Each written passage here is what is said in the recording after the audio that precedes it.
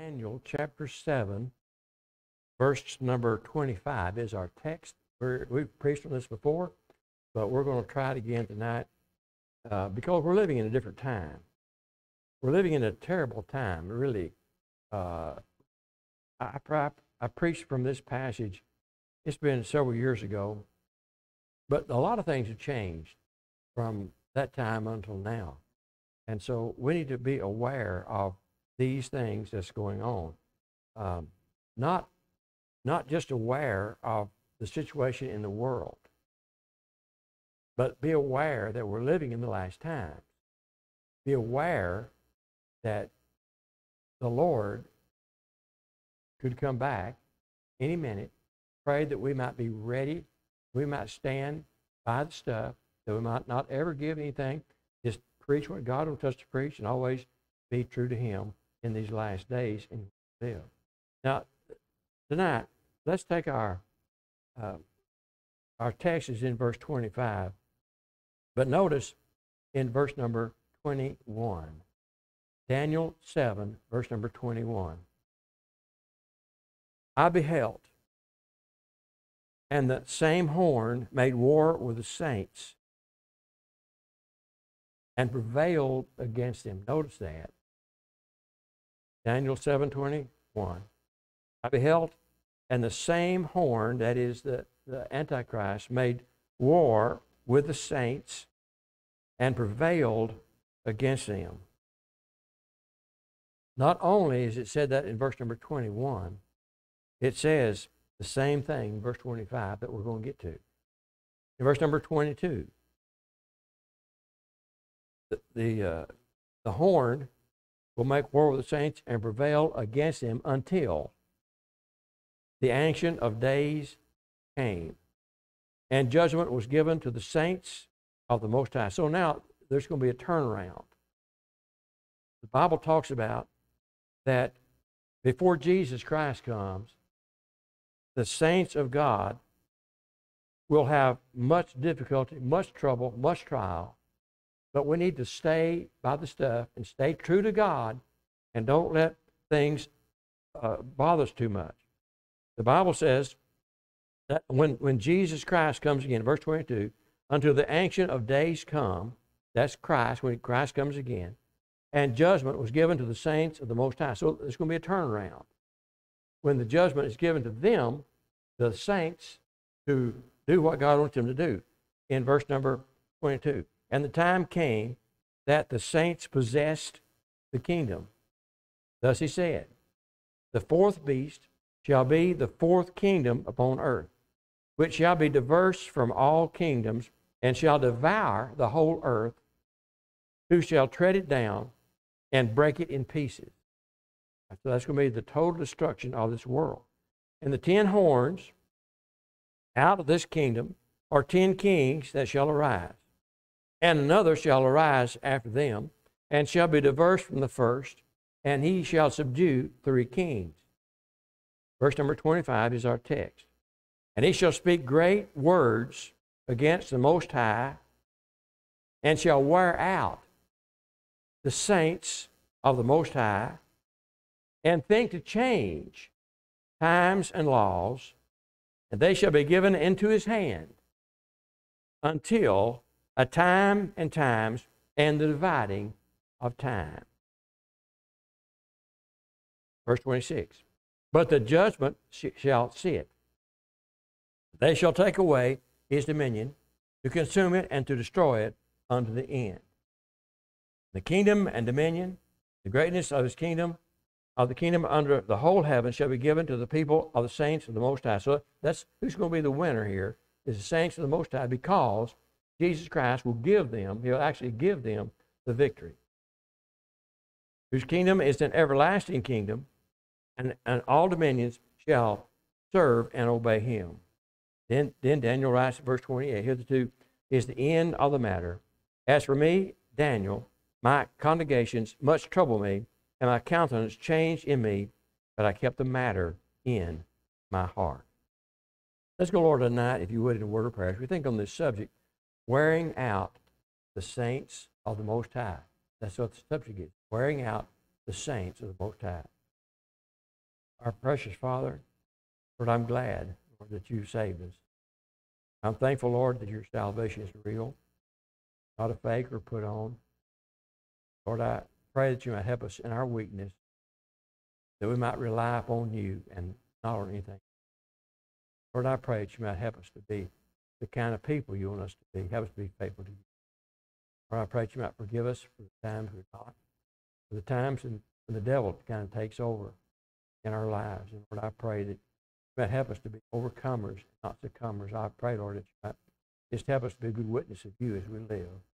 Forgive us, Father, for our sins. I pray you might bless and keep us, Father, from watch over tonight as we bring this message. Of course, in Jesus' name, I pray.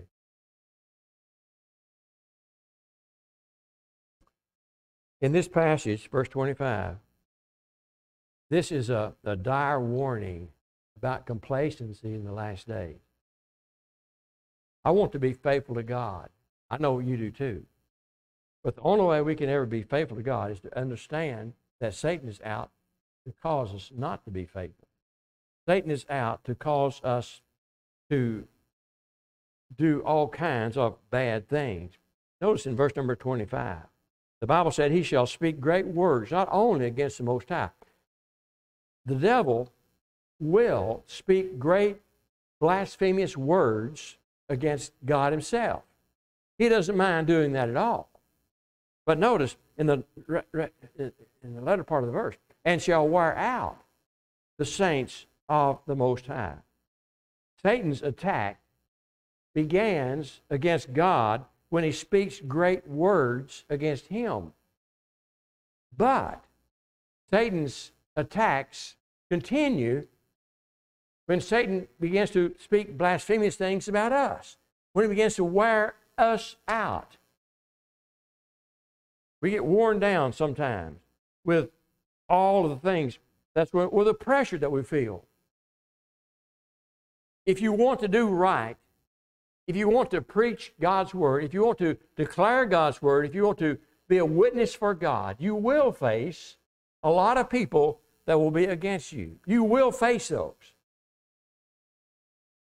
It's going to happen. I wish it wouldn't, wasn't that way, but that's the way God wants it to be. And so that's the way it is. The Bible says in verse number 25, and shall wear out the saints of the Most High. Almost to the point. Be careful right here. Almost to the point of a total failure. God's people can come to the place of almost a total failure. Some people that are saved, I believe they're saved, but they will fall for all of Satan's lies and for his hypocrisies. And they will go along with the world and accept the things of falsehood and not the things of God. Some people will do that, but need to be aware that that's not what God wants us to do at all. Satan wants us to be worn out. But the only way we can have victory is to submit ourselves to Almighty God and do every day what God wants us to do. I tell you what, that's a real chore. It, it, it's not an easy proposition to do. To do what God wants you to do, it really is difficult because we're just people and because we're so full of sin. And sin looks so attractive to us, but sometimes if, we, if we're not careful, we'll fall for the lures of Satan and will go into sin. Don't do that. Stay true to God. Stay true to Almighty God. Notice here that the Bible says that Satan shall speak great words against the Most High, and he shall wear down the saints of the Most High as well. And then the Bible says that he's, going to do this and think to change times and laws. Wow the very foundation of our lives, the very thing that we built our lives upon. That's the laws of God, the way that God wants us to live, the way that God wants us to conduct ourselves. Satan wants to change all of that. You can see that in our society today. It's very evident. You almost have got to be blind to what's going on not to see it. We're speaking about the very, the very foundation that God has laid in the beginning and how God wants us to serve Him. The foundation is what's right and wrong. God has established that already. This is right and this is wrong. But today, that's being clouded Today, if you say something is right, those that are against you will say you're being hypocrite because you know you're not right. If we say the wrong is right, then we know we're wrong.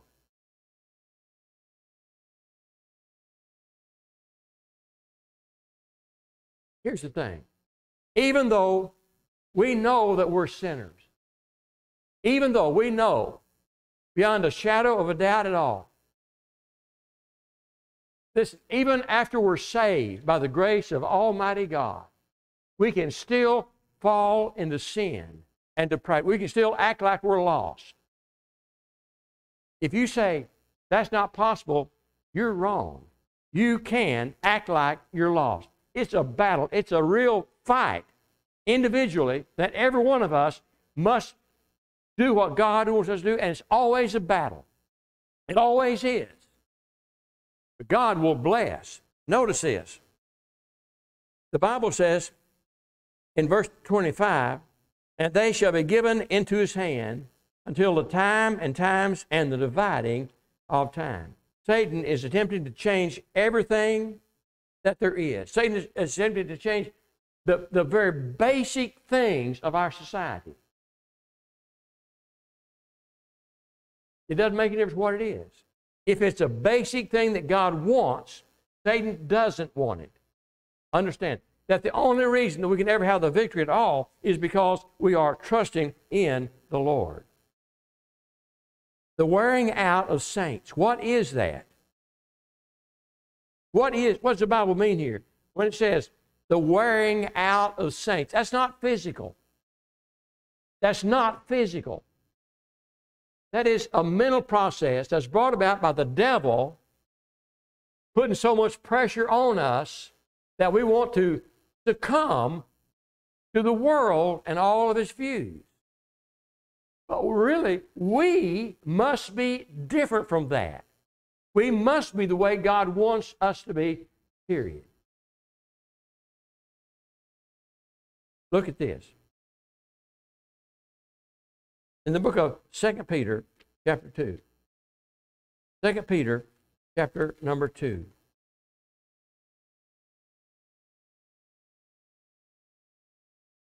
In this chapter, Peter is warning about false teachers, about people that would lead others astray. In verse number 1, notice what he says here 2 Peter 2 in verse number 1. But there were false prophets also among the people, even as there shall be false teachers among you. This is what Peter wrote. He said, In the Old Testament, there were false prophets among the people, even as there shall be false teachers among you. So understand that there's going to be people that you like, people that you associate with, that are false teachers. The Bible says, even bringing in damnable heresies, even denying the Lord that bought them, and bring upon themselves swift destruction. That's going to happen. That is going to happen. The Bible said, Many shall follow their pernicious ways by way of whom the, re- the way of tr- by reason of whom the way of truth shall be evil spoken of. Look at that. If you try to do what God wants you to do, if you try to live the way God wants you to live, there'll be people, not the devil, there'll be people that will tell you you're doing it wrong. You're doing it all wrong. Understand that that's so.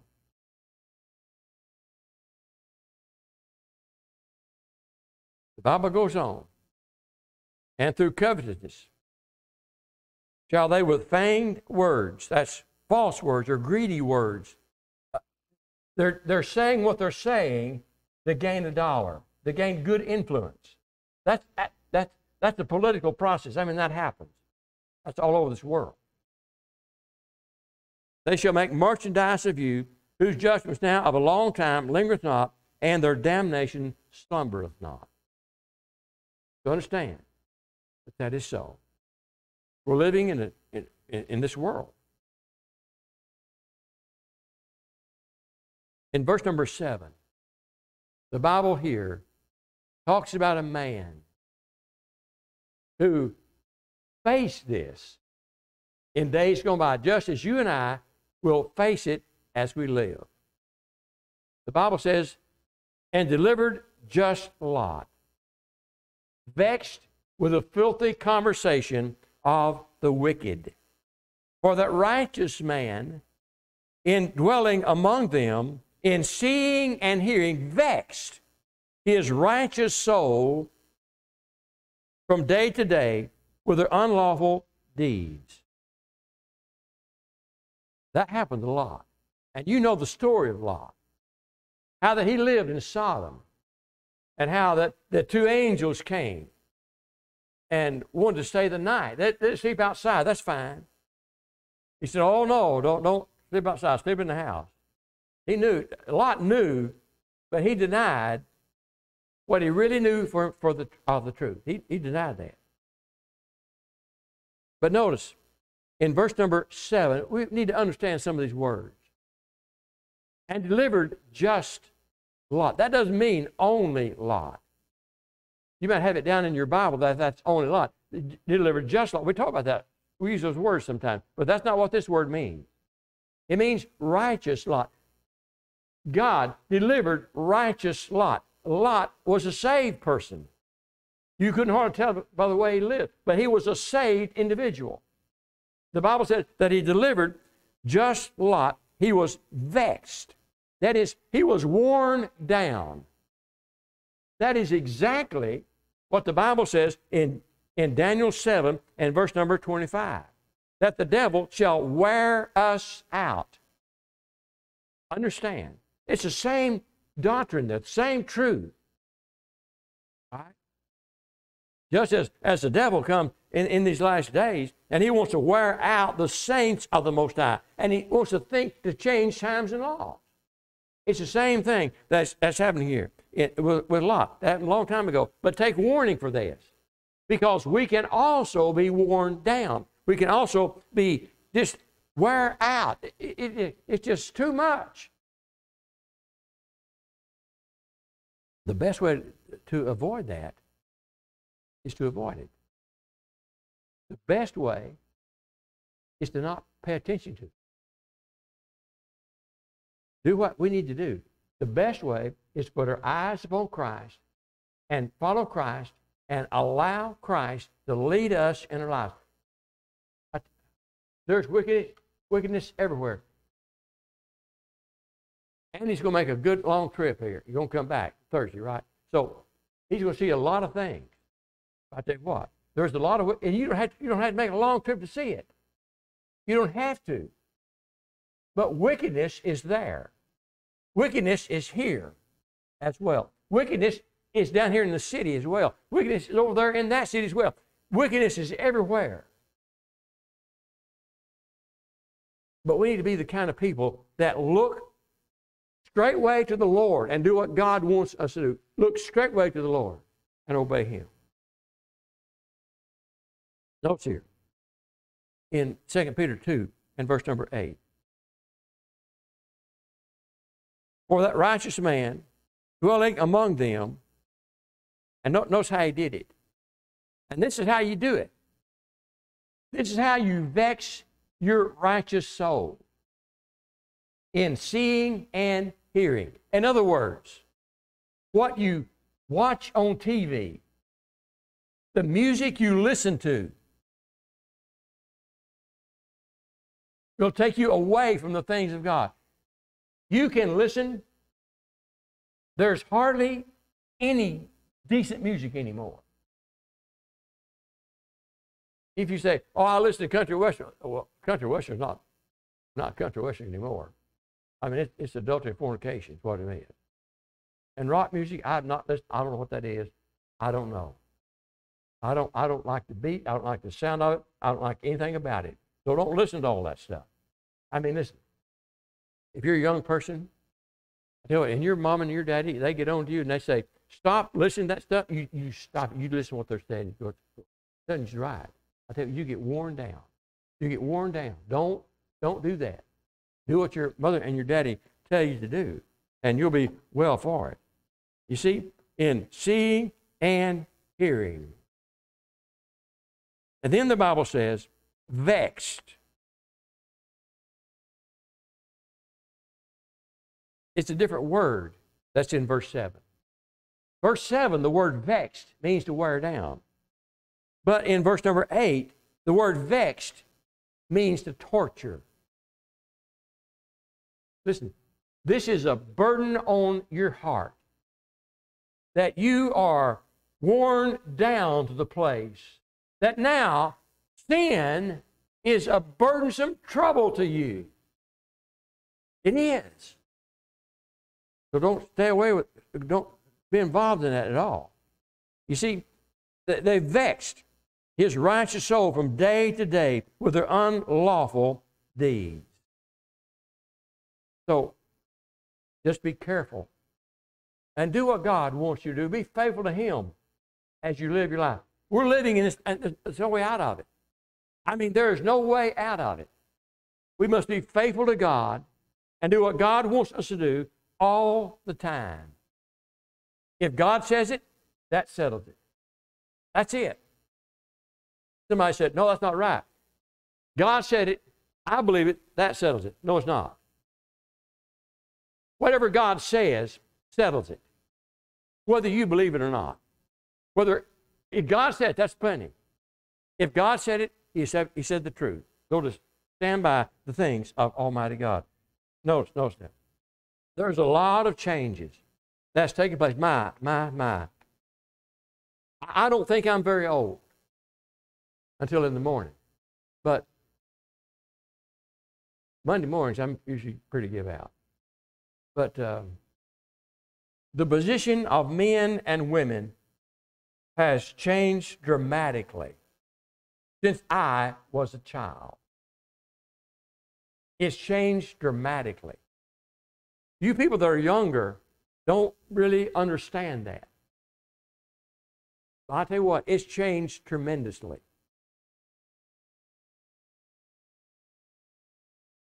Satan has taken his time, and he has used a little bit of time because he knows that the older generation will get older. You know, used to, I was in the younger generation.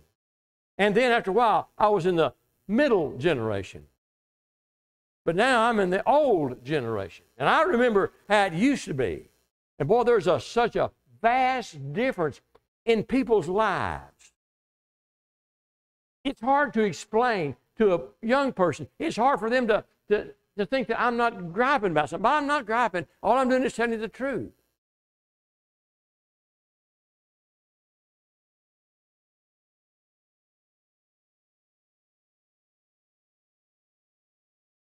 When I was pastor down in Arkansas, there was a man in the church that told me, he said,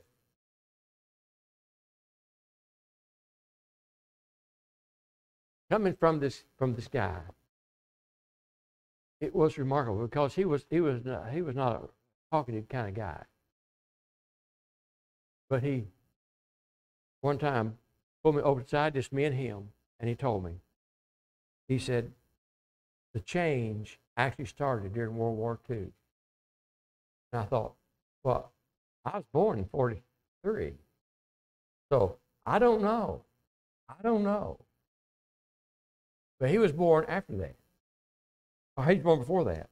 But he told me that the change actually happened in World War II when men went to war and women went to work. And because they were bearing the, the load of supplying the, uh, all the ammunition, everything else to the military, there was some male workers, most of them were women. Women began to dress like men. They began to act like men. And because of the war, women took over the responsibility of the home. And so when men came back, that either had to be a great transition take place or the men would, okay, well, I, go ahead. Go ahead and take it. I, I don't care. Go ahead and do it. And to many men, this is what happened in their home. Because it said the man take the authority of the home, it was left up to the woman to do certain things. As time progressed, it became accepted. That, that was what a, the job was. For you young people, let's listen. You don't know all this. You don't know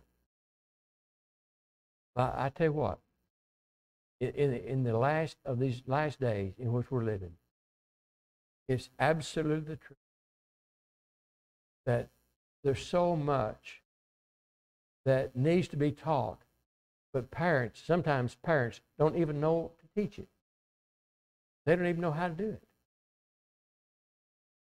because they themselves don't know a lot of it.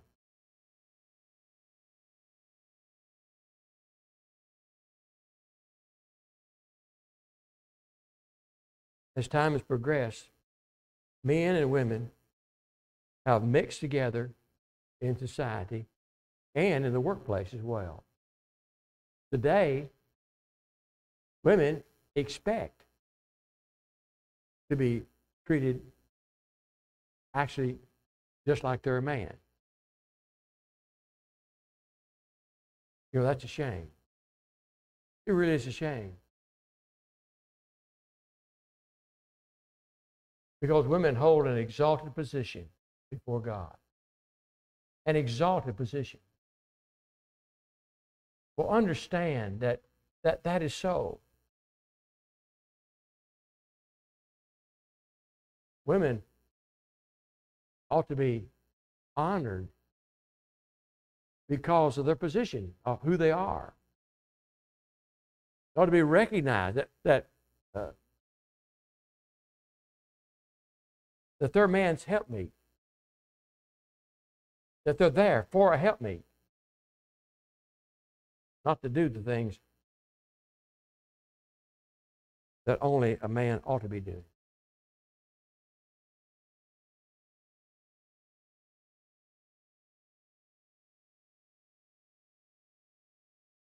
God had a plan for replenishing the earth in Genesis chapter 1, chapter 2. God made a plan. The plan was that male and female would marry, and there would be children born that would replenish the earth. I'm going to say that again. In the beginning, God made a thing called marriage. That's where the, uh, and God sanctioned this because God took the rib from Adam and made a woman from that and gave her unto Adam. And Adam said, Wow, this is, this is exactly what I need. But today, instead of men and women marrying, they don't want to do that. It's a shame. It's a downright shame that it's happening. But today, instead of men and women marrying and having children, and they teach them God's word, and man being the head of the house, instead of that, many people just shack up. That's what they was called when I was a kid. Today, I guess it's called living together or whatever. They don't understand what a real family is. Many, many young people, they don't understand. They, they just don't get it. They've never seen it in their life. Can you understand that there's young people that have never seen, they've never seen a real family. They're not a part of a real family. And they don't know. Many times, a family is called those people that you're around. Listen, you're my friends. Some of you are not my family, but you are my friends. I have friends in other states. I have family members in other states as well. But there is a difference in the two.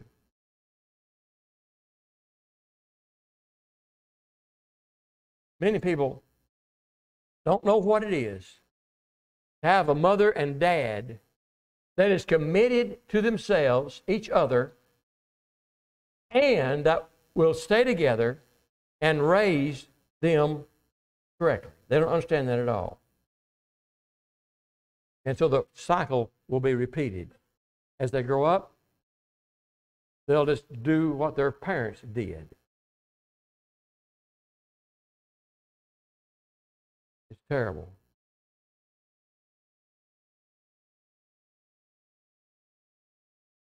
as far as motherhood is concerned, it's, it's a great thing.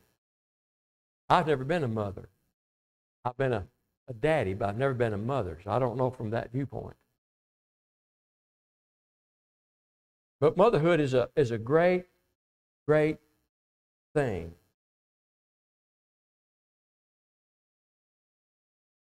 But you know, if a couple, or if a, us say a woman, has too many children, she's looked down on in society. That's a shame. If a woman has too many children, how many is too many? That's my question. How many is too many? A lot of people believe that one child is sufficient. One's a plenty. You could love two, right? I can't I can't grasp that thought either. Because if you got two, I mean two children are different. My my. Uh, we've got four children, and all of them are different. All of them are different.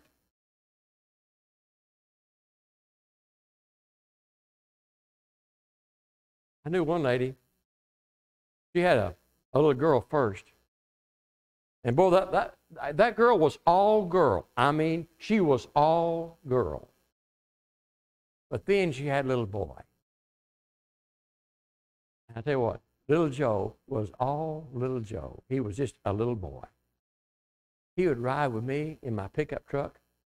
He'd stand right there. And he was interested in tractors. That's a John Deere. That's a Massey. He, he, he named them all. I couldn't even hardly see him. He, he know what they were. He was a joy to be around. He really was. But he was so different than his sister. Very different. He was really a good guy. Where am I at? Let's see. Okay. Today,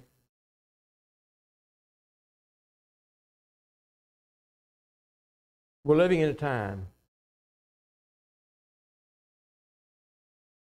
when abominations are said to be good. That's right. We're living in a time when men say that things that God says is an abomination men say that that's a good thing.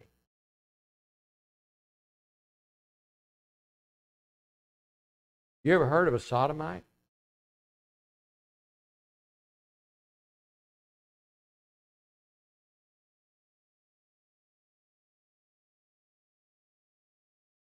I cannot express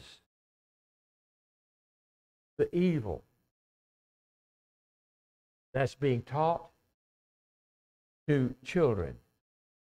I'm talking about 11, 12, 13, 14 year old kids about sodomy, about how that that's all right. But that is going on through this thing called the internet. It's going on. It's happening. We're living in, the, in this time that, that, that men say the thing that God says is the worst thing of all. That's okay. That's okay.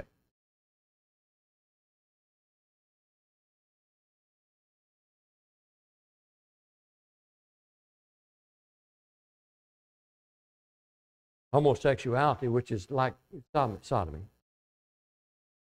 that's now being accepted as an alternate lifestyle. Don't listen. We need to know that, that that's just wrong. It's bad. It's bad.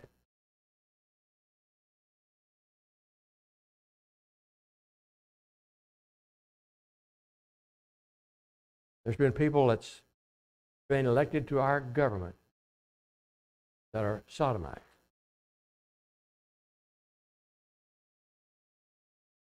This is exactly how it was in the days of Lot. Exactly. When God destroyed the five cities of the plain, don't be surprised. But remember this in Daniel 7 and verse number 25. Read again what this Bible verse tells us. Let's, let's I tell you what, let's go back up into verse 21 and read this again. And just so we can understand what's happening. Daniel 7, verse 21. I beheld, and the same horn made war with the saints and prevailed against them until the Ancient of Days came and judgment was given to the saints of the Most High. You see, right there, and, and that's such a contrast because in verse 21, it is the war, it is, the, is, the, uh, the devil that makes war with the saints and prevails against them. But when the, when the Lord comes, then the saints are able to overcome. That's what he's talking about. And the time came that the saints possessed the kingdom. That, that'll happen. Just exactly the way that God said it's going to happen. In verse 23, thus he said, The fourth beast shall be the fourth kingdom upon earth, which shall be diverse from all kingdoms, and shall devour the whole earth, and shall tread it down and break it in pieces. And the ten horns out of the, this kingdom are ten kings that shall arise, and another shall arise after them, and he shall be diverse from the first and he shall, and he shall subdue three kings. A lot of times, we're more interested in finding out who these kings are than we are in putting our eyes, keeping our eyes on the King of Kings. Understand? Sometimes we're more interested in who these kings are that are taking over this world than we are in keeping our eyes on the King of Kings. if we're more interested in keeping our eyes on all these junk kings, they'll prevail. We need to keep our eyes on the King of Kings, Lord of Lords. Listen, Daniel was a man of God who served God in a pagan country. He was faithful to God. Why? Because he always looked to God, even when they passed the law and said, that anybody that asked anything to be put in the den of lions. Daniel didn't do any different. He opened his windows like he always had, and he prayed to God of heaven. Listen, Daniel looked to God. And the only way we can have the victory is to look to God. That's the only way. The only way it ever happens. If you look, if you look to the leaders of our nation, you're looking to the wrong one. Paul the Apostle looked to God, and God gave him a great victory, even over the Romans, even over the people that were bound to oppress him. We can have the victory. The Bible said in verse 25, And he shall speak great words against the Most High, and shall wear out the saints of the Most High. That's going to happen. And think to change, times and laws. I, am glad that verse 25 has the word think in there. That's his motive, that's his plan. He thinks to change times and laws.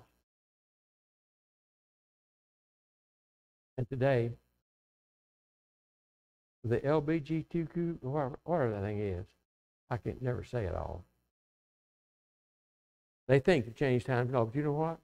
The truth is this. The truth is this. There's the male, female.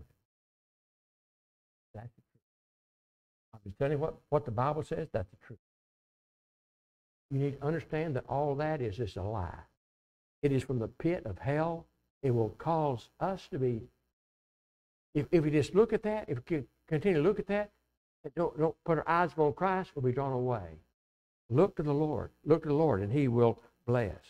The Bible said, they shall, He shall think to change times and laws, and they shall be given into His hand unto the times and times and the giving of time. But the judgment shall see it, and they shall take away His dominion and consume it to destroy it unto the end. Who wins? God wins. God wins the battle.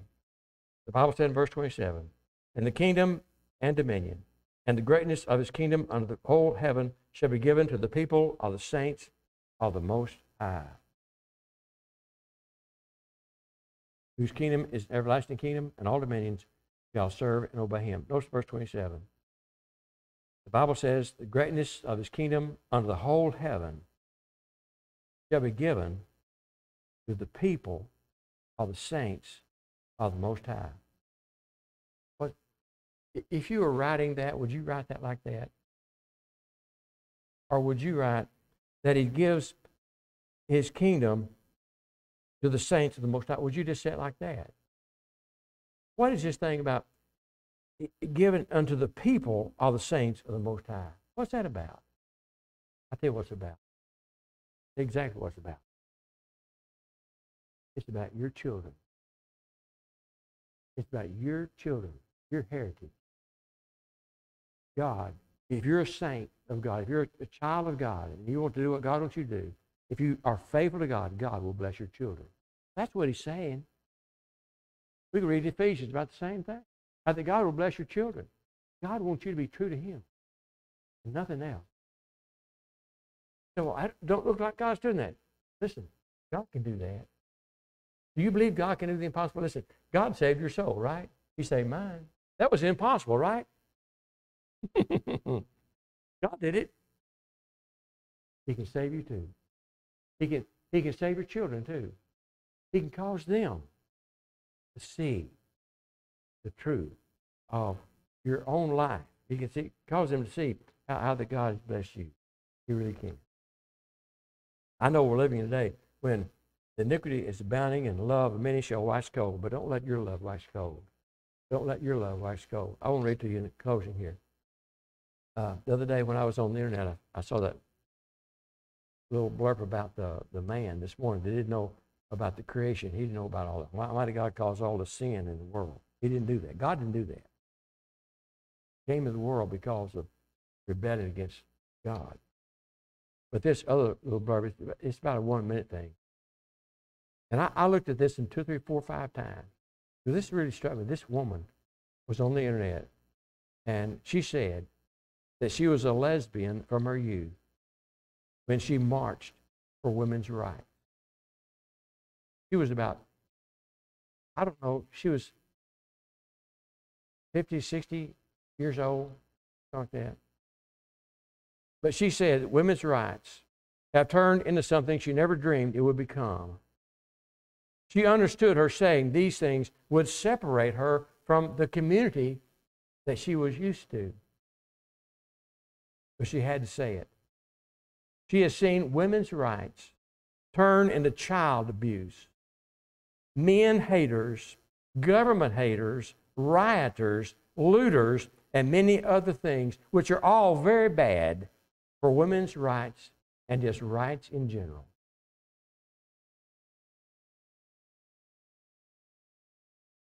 I tried to find that before uh, or later, but I couldn't find it. Free speech allowed her to protest. But now, those that have believed in free speech, they want to hear when I disagree with them. Isn't that remarkable? We're living in that time. That's the time hot.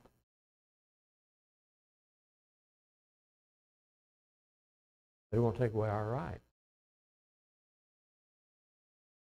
May God help each one of us stay true to God.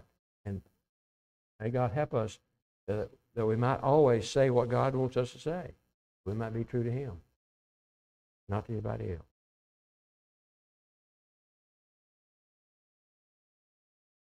Okay, I think I'm done. But remember us in prayer, if you would, that we might always be true to God and to what God wants us to do. If you're lost today, we pray for you. We, this has not been a message to you that are, that are lost, but I tell you what, you need to understand this. What God said in His Word is absolutely the truth. And it's coming. But we need to be faithful to God, be true to God, and be right before God because we've got to answer to God. If you're lost today, know that God is watching you. He, he knows you. We pray that the Lord would just put upon you that Holy Spirit that you might understand that if you're lost, you need to trust Christ. You need to believe in Him, for He is the eternal one. And you have an eternal soul as well. And you need to Trust Christ, believe in Him that you might be eternally saved. You have a home you're going to somewhere. It's either heaven or hell. That's it. And you can deny it, whatever you want to do. I tell you what, it's the truth. either saved or lost. That's it. No, no in between. We pray for you that the Lord would help you as you live, you, as you grow up, that you might be what God wants you to be and always be true and faithful to Him. And understand that that's so. Understand this so. He's faithful to